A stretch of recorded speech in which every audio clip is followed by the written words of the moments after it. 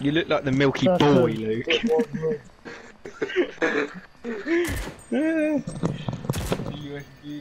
You should be like rapid at it now. What's when it takes you up? Into the Broly song, so fuck off.